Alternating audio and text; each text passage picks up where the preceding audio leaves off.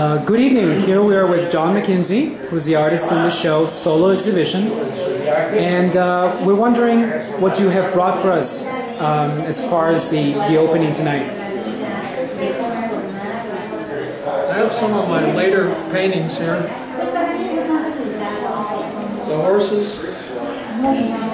I do a lot of horses uh, because the horse figure is the most graceful animal and the most graceful being on earth next to the, the human figure, especially the female figure.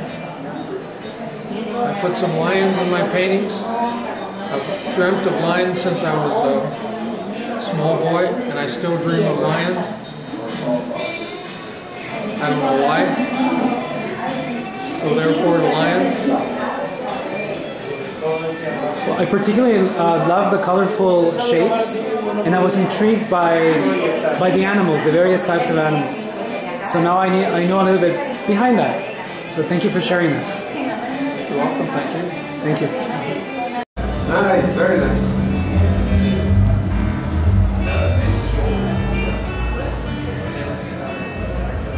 One more, one more.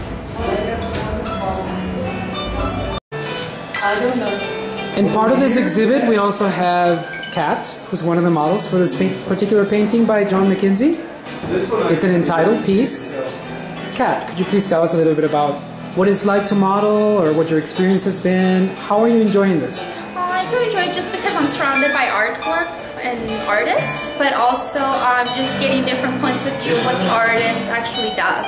And I just I like everything that they do, and all different talents I've seen locally. It's been fun, a fun experience. Great. Thank you so much.